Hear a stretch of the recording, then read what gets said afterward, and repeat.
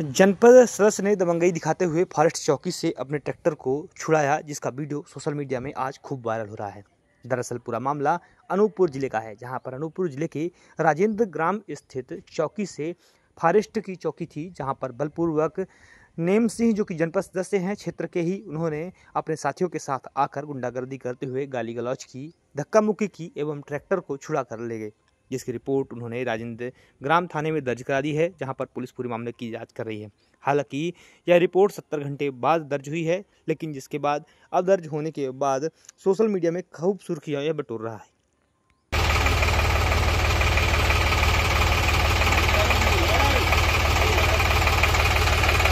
Sir, रहने दीजिए।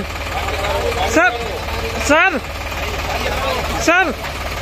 अरे, सर पकड़ो तो पकड़ो। सर उनको बोल दो। रहने दीजिए।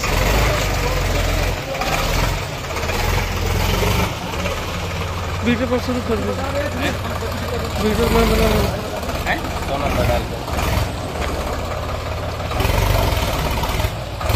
ट्रैक्टर भाग रहा है। ड्राइवर का वीडियो बनाओ ड्राइवर। ड्राइवर की वो नहीं आ रहा मेरा तो मेमोरी आप करिए।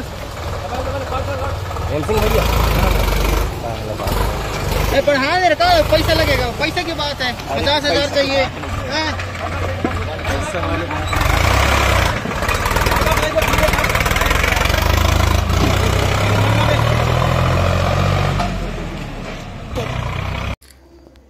सर क्या मामला हुआ? है कल रात को 17 अक्टूबर को बमनी चौकी में हम लोग ने ट्रैक्टर को मतलब रास्ते से मतलब पकड़ा था, ठीक है?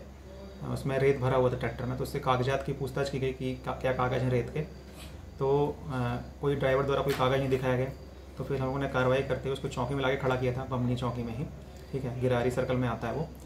उसके बाद, आधे एक घंटे के बाद जनपद सदस्य हैं नेम सिंह करके, उनके साथ आठ दस लोग थे, वो गुंडागर्दी करते हुए, ज़बरदस्ती स्टाफ के साथ अभद्रता करते हुए, चाबी तो उन्होंने जब्त कर ली थी तो डायरेक्ट को ट्रैक्टर को डायरेक्ट करके छीन के ट्रैक्टर ले गए धक्का मुक्की करके गाली गलौज करते हुए। और धमकी भी दे गया कि हम देख लेंगे।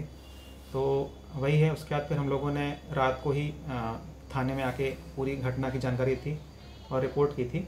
और अभी एफआईआर हो गई है लूट मतलब लूट की उसमें एफआईआर हुई है।